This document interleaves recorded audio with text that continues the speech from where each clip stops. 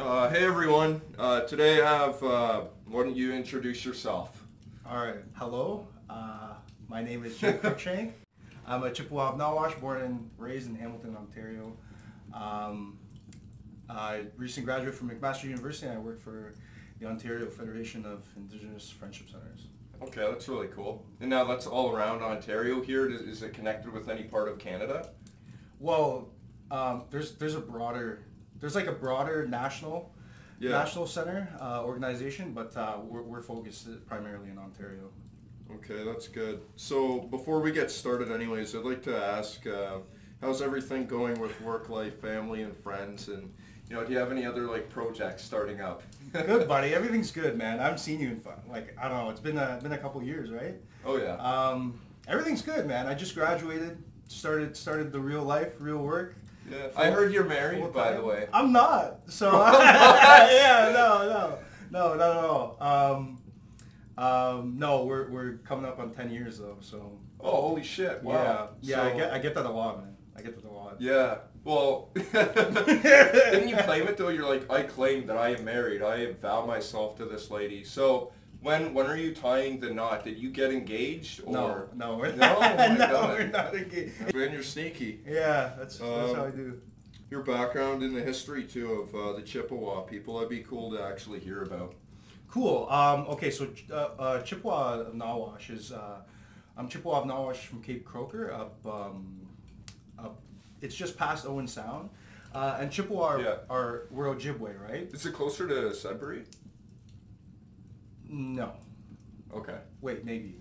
I don't know. I'm bad with geography. I just know it's past Owen Sound. No Um, worries, man. Just go ahead. Yeah, yeah, yeah. um, what's it called? So yeah, yeah, yeah. So Chippewa, Chippewa of Nawash, we're we're Ojibwe, right? And the Ojibways are like typically displaced people, so we're spread out across um, across like Ontario, in, in the states, um, Yeah. all over, right? But even in uh, Montreal and everything. So we're all over, and, and so my reserve is actually only made up of 800 people, and there's Holy two- shit. yeah, so there's Nice, there's 2,000 overall of us. It's beautiful up there, though. It's it's beautiful. Nice, yeah. Um, So do you follow like a type of trail? Is was there like an old trail that? Because I know that you showed that there's like an area, a part of Ontario where all the natives would go. Like um, I think one was in between. I want to say like Caledonia around that tract. area.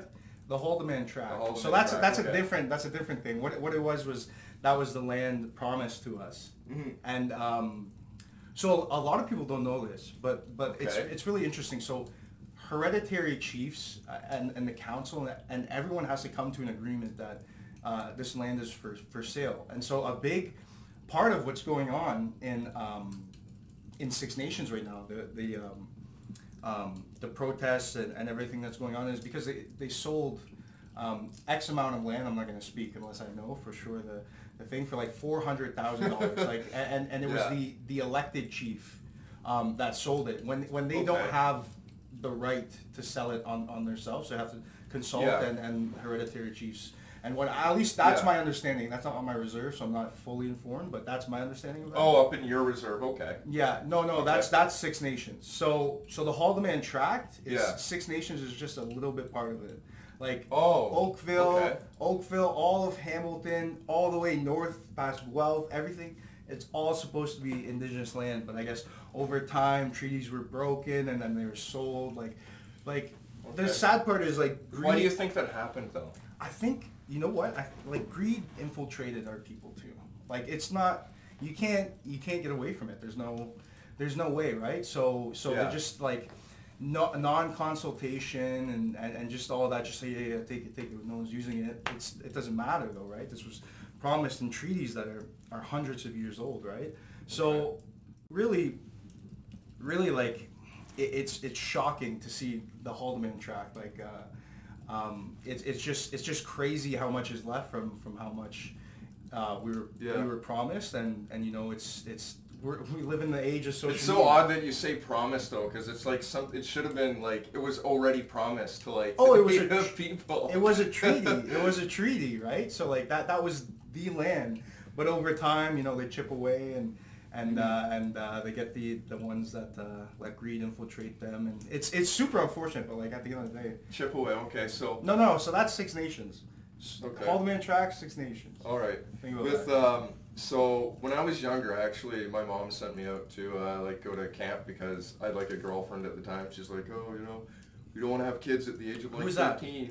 yeah. Yeah. How's she? You heard from her? How's she doing? She's doing okay, man. Um, I haven't really seen her in a long time. I haven't seen her in ten years, probably. How long? Ten years? Yeah, I don't like keep in touch with her. I'm not really sure where he is, where she is at the moment. I don't know why I call her he, but whatever. yeah, so I was sent off to uh, a Chippewa camp of this sort down, and I guess like they actually took us like an hour and a half or two. It's called Camp Chippewa, and it's like to me it was out in the middle of nowhere. I was like, okay, where am I going? And I don't think they really taught people too much about it. I'm like, why don't you like show a little bit more about it? But I don't know, man. Like you, I have like ADHD, so I'm like going crazy, and Yeah. there's too many thoughts, right? No matter what, it's all cool. So, Yeah. yeah. Um, So chi- no, so that's actually super interesting that you bring up. A, a lot of people Okay. don't don't talk about it um, and, and the information behind it because they just they don't know. They, they just don't know. Like I, I I don't know a lot. Like I'm still very early on like my journey of like rediscovering like my culture that was taken from my grandma, right? Mhm. Um, so like at, at, at the end of the day it's cool like if you don't know it's cool It- as the the thought is that like you're trying to have an understanding you're trying to know you're trying to understand the culture that's the purpose because i'm like i grew up super whitewashed right so so there's no there's no reason to be like oh like uh, I, I'm sorry i didn't know like no no it's good that you're you're receptive that you're receptive to knowing right so i, I think that's all that that that is Absolutely. With the federal statutory holiday, National Day for Truth and Reconciliation, um, being, I think that's an extremely important part of who we are as like Canadians and I guess everyone else as a whole. To um, how do you feel about some of the other provinces not really enacting it as a statutory holiday, and why do you think maybe they should change it to a statutory holiday? Um, you know, I, I think I haven't really developed enough of a, a solid opinion on whether or not it should be a statutory holiday. Because in reality, like, how much are people going to do on their day off in acknowledgement of culture? You know, there's always going to be ignorant Yeah, people right there, right? So, Mm-hmm. I mean, workplaces do a good job of of you know training and and, and, and awareness and, and where they can, right? Um, so like, I mean, it not being a statutory holiday isn't that big of a deal. I think the bigger deal is is recognition of, of a day that's that's about the understanding of, of, of the real history, not the not the the, the fake stuff we're, we're taught in school, right? So Mhm. I think that I think that it's really it's really really to each his own. But for me, it's just I'd like to see that there's some sort of willingness to have a better understanding of you know indigenous relations, the history of what's going on, and, not only Mhm. that, like like like my um, the executive director Gertie May at uh, Okay. Has said like. She, she doesn't want this to be a sad day. You know, we, don't- we don't want to talk about um, Okay. we don't want to talk too much about the bad stuff. We know what happened, right? We know what happened. Yeah, So let's yeah. let's take this as a day of, of, of learning and, and of, of bettering our understanding of our own culture that was taken from us, right? And, and then helping spread our culture, you know? For anyone that doesn't know, though, the Catholic schools and all of that, and there were other um, issues where people were just forced into um, an area where they just wouldn't be around other people, and then they had illnesses and such, and, and all that, right? Because not everyone knows, and that's like something that I think that Murder, if you look rape. into it. Yeah, I didn't even want to say that, but I had it written down. I deleted that out of there. A lot I'm of bad stuff. yeah. A lot of bad stuff. Yeah, um, and at the time, I think tu- tuberculosis was um, going through even just the crowds of a lot of other people, and then the buildings I found out were actually like burning down because they weren't well kept or anything like that. Like the materials, I guess they used, or the people not looking after the lights and the electricity, and like that's just a whole nother type of torture. So So so here here's something that I find interesting and I find the Yeah. most important one of the most important aspects of, of understanding and September 30th and reconciliation itself is it, it wasn't just residential schools. You have to have an understanding that they wanted to get rid of Indian. We were called the Indian problem. So they, they and in the platform promise of uh, Sir John A. Macdonald, the, the first prime minister uh, ever of Canada, he, he you know promised to get rid of as many Native Americans as possible to make way for European settlers. And when we couldn't, when they couldn't get rid of us, when they're like, man, we, these guys are good, man. Like we can't get them all. When, when they when they couldn't when they figured out we couldn't do that, they said, okay, we're gonna segregate them to reserves. And so they, they chose the worst land possible for growing, for fertilization, for, for just living. And then they said, okay, here, here's this, your land, leave us alone, like get out of here. And then so I guess like still there's obviously still going to be problems. They're still they're still going to want to get rid of us. So they called us the indian problem. In parliament it's in all of these written documents uh, the, the the verbiage Okay. is insane. And so here's here's what what i was leading into. The reason residential schools were created was because they they had an understanding that, that hey we're not going to get rid of of these these indigenous people. Like so instead of killing the indian we can kill the indian and the child so that was the purpose of bringing people to residential schools. Was, Yeah. was getting rid of their culture, stripping them. You know, their their their their tongues were poked with uh, with needles if they would speak their their own language. Um, you know, you weren't allowed to practice culture, tradition. When some when a, when one of your friends died, you couldn't um, couldn't do uh, the proper ceremony. Uh, you, you'd be punished. Like they- you, they were taken away from their culture, abused. And so people wonder why there's all this substance abuse problems and, and all that in their history. It's because there's trauma and there's intergenerational trauma. But here's what we need to understand is that it doesn't end there. That's the, this is a whole system that was set up to destroy our people, our, our culture. It was a genocide. So when we talk about that, yeah, my great grandfather's buried at, at Shingwauk Reserve, um, but uh, or Shingwauk uh, Residential School. But but let's not let's go let's go closer to that. Let's my Okay. grand my grandmother. So I don't really know much about her early life, but I know that she was so poor. Um, like she she literally like like was living in a barn, and and so uh, the Indian agents, which were white people from the government that came on and, and grabbed kids. Um, so the Indian agents found her and they took her and put her in Foster homes. Fosters, foster like homes, right? Orphanages and stuff. yeah. foster homes. So foster home in itself it was was an abusive system. You know, indigenous kids even now today are two and a half more times uh, likely to suffer from from malnutrition or neglect, um, and that's 2021. Um, so I know that my grandmother, and this is where it gets very very deep. Um, so my grandmother, you know, no one, everyone in my family is named after someone, right? And, and but Scott is my dad's name, and we never understood why his name was Scott. Um, but the reason why was because she jumped from so many foster homes, foster homes, foster homes, and the only foster parent she had that didn't um, uh, molest or beat her, his name was Scott. So she named her firstborn Scott. Yeah, and I was wondering too because, uh, like, I wondered what your relativity to uh, Cruikshank was, and I looked it up, and it had to do with like Scotland and such. Like, Yeah. and it was from I think the Picton tribe people up there in Scotland. Like, there were like a select like there are tribes in different communities, even like different like uh, subcategories, I guess, of like white people up there too. So.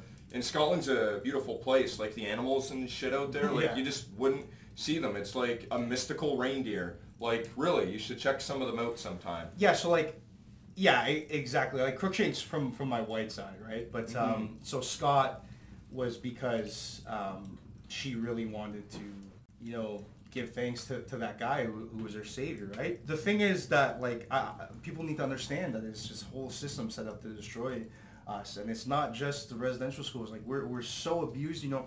Um, indigenous kids make up fifty two percent of people um, under or 14 and under in the uh, foster and and and the foster care system, and out out of them, then they're two and a half more times likely to uh, be uh, abused, mistreated, neglected, or malnourished.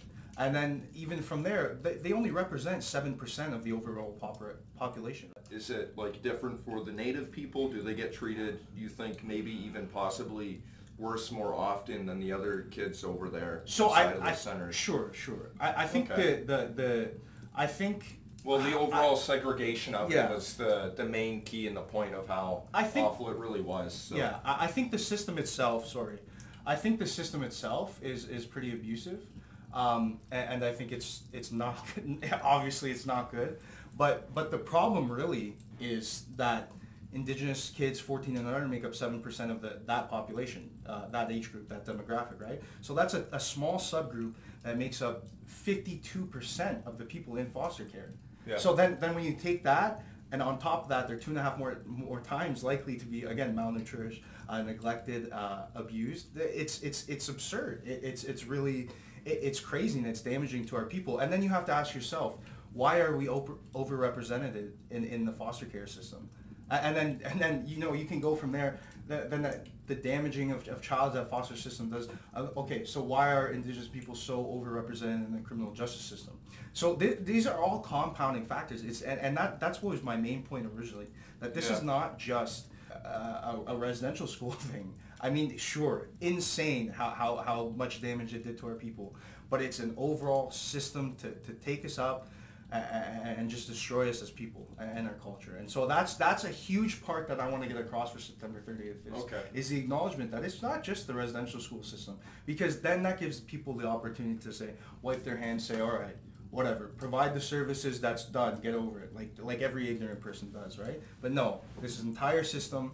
It's far more deep rooted to this. This is systemic race, racism all over Canada, and, and it's it's it's um it's something that that has been addressed, but these these things take time, and I think the more awareness that we get to, towards the overall entirety of the system is, is something that's it, it's just it, it's imperative to to our people becoming uh becoming who we who we need to be, right? All right. Are there any like monuments or any other type of symbolic idols out there that you feel like may need to have changed that people don't know about?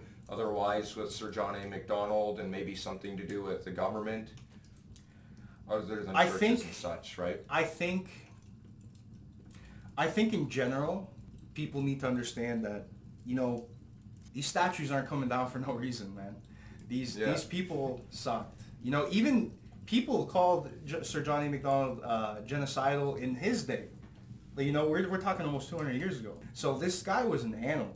Uh, um, and, and Ryerson, the architect of, of residential schools, like like these people, even for their day standards, were not good people. Okay, yeah. it, it's ju- they were just successful. They were good at what they did, and Hmm. and unfortunately, like there's gonna be people on the bad side that are good at what they did, and um, I don't think they should be celebrated. I think maybe they should be in a museum for sure. But uh, I mean, if, if the if the governments aren't going to take take the, the the the statues down themselves and preserve them and put them in in um, in, in museums, and come on, what do you think's going to happen? what do you think is going to happen? Like, Mhm. I, there's tons of people that are willing to take a charge or to to bring down a statue and, and you know create a sort of history in the movement. So yeah, I, I think people need to understand that, that this isn't just about a frustration thing because it largely is. This is about letting people know that these people sucked and we should not be idolizing these people. They they they they, they were terrible on every level. Um, so that's that's what I want people to get from from from just more the idealistic standpoint of Okay. of, of uh, sort of white figures in the 19th 19th century and and Alright. 20th as well. So. Uh, Justin Trudeau or Justin Trudeau? Trudeau. Where do we start? yeah. Where do we start? You can talk all you want about. I mean, that was just a corny joke I threw in there, Yeah, to be okay, honest. okay. Justin, Yeah, like- we're, we'll go on quite the tangent, man. Holy. Every every politician's a joke. You see, even Jagmeet's fake crying. Like it's just like. Um, have you heard of Brutal. with his like? I know it's a little bit off topic. I guess he's had. Uh, I guess he's had like a little bit of a history with his father. I guess being like more of an alcoholic, sort of like um, Sir John A. Macdonald was back in the Trudeau? day. that- Trudeau? No, um, uh, Singh, Mr. Jagmeet? Singh. Yeah. Yeah, Jagmeet. Um, His father, I heard, was an alcoholic, Oh, and then wow. he may have been like on his Wikipedia page. Anyways, it shows he had a really tough childhood. Anyways, I would check it out sometime though. Mhm. But yeah, as you say, like the people that go into the power or whatever, they're good at what they do, right? Mhm. And they know how to get that. Like people are Mhm. going on social media and connecting that way. Although I think for maybe to allow people to make change would be important in their life too, but Mhm. it takes time and it's like a lot of painful hurt that if you Yeah. were to do something on someone else, you you have to live with that same exact pain that you gave that person. Yeah, Um, I, and I mean, I, I'm not saying Jagmeet doesn't want the best for Canadian people or anything. I just think if you're a politician, the odds of you being full of shit are pretty high. So There you uh, go, I'm yeah, Not, I'm not. yeah. gonna- I'm not going to Let's take just- that away from it, right? So yeah, that's good. Just the United States, the land of the free or the land of the stolen, and while singing the national anthem of O Canada, when we sing the O Canada line, should we should we say sing it in a more satirical way, right? Mm, no, no. And here, Oh, here's another. here, here's another I thing. mean? That, yeah, yeah. No, here's another thing. On one side of my family, you know, my grandma escaped communism and fled to this country and made a great life. But on the other side of my family, you know, the government literally destroyed our people. So it's it's it's it's this is a great country founded on some horrible and horrific things. So I I don't want to take away from the good that this country does, but at the same time, man, Yeah, some, we were yeah. pretty brutal, pretty brutal. So Changes need to be done. So, yeah, no, I, I don't think the, the the national anthem needs to be changed. So what are some popular Aboriginal dishes, if you know any? Indian tacos, man. Indian tacos. You can't you can't you can't go wrong with Indian tacos. All right. So Indian tacos is basically basically scone. It's it's it's like a, a scone, I guess you guys call it scone, and uh, it's it's a little bread thing, and then you, you get some nice venison or something, or ground up meat, so some sort you can, and, and you put it on so, on on top of the taco, and then you put you know shredded lettuce, tomatoes, little sour cream. Oh man, cheese. That shit's good, bro. Oh, I I love corn soup. I love corn soup. It's not.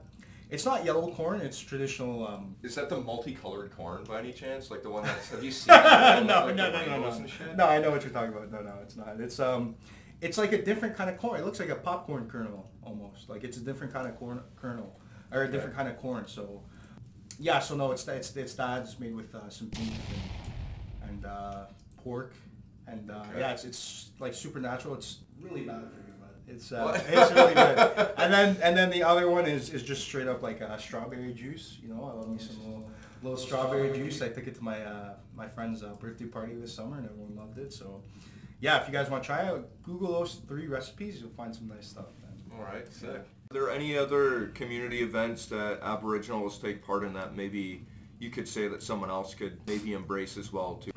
I mean, just go go go to powwow. Go to powwows. The, the neighboring uh, uh, communities powwow. So for us, it'd be Okay. Six Nation. Just go to powwow. Support support their economy. You know, um, and, and buy some traditional stuff. You know, keep keep our culture alive. Do you want to explain to people what a powwow is?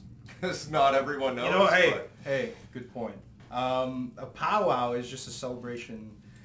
Uh, I'm not going to explain this correctly, I don't think, but it, it's essentially just a celebration. I, I forget what the the actual uh, purpose, the cultural purpose is, but it's just a big celebration. It's uh, on my reserve. It's a it's a few days, and you know, there's there's lots of dances and, and celebrations and lots of food food trucks and and you know traditional food and and uh, you know you can buy you can buy all sorts of um, you know, clothing and and cool traditional items. So it's uh, it's just a celebration, you know, celebration of our people. I, I wish I could expand more on the actual cultural relativity on it, but uh, That's fine. Before we end this, I know that you put in a lot of zeal when it comes to uh, the family and the people around you, so I have something for you. oh yeah, Yeah, but first, uh, I'd like you to share a little bit about um, your personal experience being Aboriginal in Canada as like a as like a whole, and in your best words, what would it uh, mean most to you when it comes to people who would like to support Aboriginal people, and what would you like to see more? Hmm. So, Hmm. a little bit about yourself being Aboriginal, then. All right, so so like the truth is, I, I never really felt like I fit in because I was so whitewashed, but I was always the native kid, right? So like when people had Mm. questions about my culture and everything, I, I don't fucking, I don't know, man. Like, you know, like, I don't know. Yeah. Um, and, and you know, then when I went out there on the reserve to play lacrosse, I was like, this is sick. Like I'm around my people, and you know, all the kids didn't like me because I'm just some whitewashed native kid. And tell you the truth, it was probably because I was a little arrogant back then. But you used to um, beat the crap out of people in lacrosse, didn't Ah, no, once in a while. you know, no, no. I, I've got food a couple times, but it's just, it's a medicine game. Sometimes you, uh, sometimes you catch a licking, and uh, yeah, Yeah. I, I got hurt a lot too. But anyways, that's maybe- Concussion. Yeah, I get it, man. Yeah. I've been through it. They suck. Yeah, but, you know, year and um, a half of healing of just like looking at things and they're shaking. You get headaches when you think too hard. Like, Mhm. oh man, you almost feel like you're dumb because it's like oh, I'm thinking so hard, I'm getting a headache, and Yeah. like the side of my eyeball, like it Yeah. was, it's wild. It's it's tough to look around, like your eyes hurt, but uh, Mhm. yeah, it's neither here nor there. Just what I was basically trying to say is that like uh, I, I I felt I never really really fit in anywhere because I was like half uh, or, or a quarter native, and I was always the native kid, but I didn't really uh, really know anything. So it's I, like I've had a lot of racist things said to me, but they Yeah. weren't they weren't they weren't like um, like they were just unknowingly ignorant. They're like, oh, so you like live on the reserve, right? It's like, no, I live down the street from Yeah. you. Like, you know what I mean? And and so like these things like they don't mean anything to the people who ask me, right? But to me, it's just like, like Yeah. it's, it's like it's, People it's, assume that you're like straight out of the forest, right? Yeah, you just yeah, came in here, exactly. It's, it's, it's, it's, it was more annoying than anything. It, it's not like it hurt me to a point where I would cry, but I could see someone who's more sensitive being really upset by that. yeah, because people don't understand, right? And Yeah, yeah, all that, exactly. So, uh, what's some advice that you would give to young Aboriginal people, the youth of Aboriginal people? What would you? Use our scholarships. Go to school. Go to school. Get a trade. Something. You know, we got uh, we got our. There, I, I'm not religious, but like fuck, man, our, our ancestors are watching us whether whether you want to like it or not. And, you know, I think we have a duty to to do as good as possible and. You know, Okay. just e- even if you're not overly spiritual, you know, just uh, just take part in, in cultural activities. Just just support support yourself as much as you can because you know my, my grandma always used to say you know um, just by being alive we're winning just by being alive we're winning because they wanted us all dead. So i think that uh, by by by having a job having a life having a wife having kids Mhm. keeping the family line going i think we're doing a lot more than just winning. So just just get a get a good job or, or go to school or get a trade. Uh, use the grants and everything that are there to to help you. And uh, um, use you know we have mental health counseling. Use you, use the coverage you know? Um, every, everyone needs to take care of their health and we're, we're, we're people that have been beat down and and you know the inter- intergenerational trauma is, is, is real um, so just take care of yourself you know take care of yourself and and who you can because it'll it'll um, it'll it'll catch up to you eventually There's something over there, and it looks red in between that little pop figure, and then that lighter, the the Clipper lighter or whatever. Oh, Do you see that? Oh. That red thing there. You can take that. oh what Yeah, you can take that. everyone i'm paid You're I'm paid, yeah. Um, what I'd like you to do with that is actually donate to any of the Aboriginal um, communities. Really like for you to do that, and then we can help other people out that way, man. yeah So- sure sure let's do that man all right All right. Before we go, is there anything else that you'd like to uh, promote or share with uh, the people here today? nope peace and love that's it Peace and love. peace that's and love it. dog All right. Well, thank you very much. All right, my guy. It's nice to see you. Get over here, bro. It's been a couple years. It's been Yeah. a couple years. Um, right, people. It's, it's a pleasure seeing you. Yeah. All right, we're gonna go, people. Uh, we got stuff to do today. Peace out.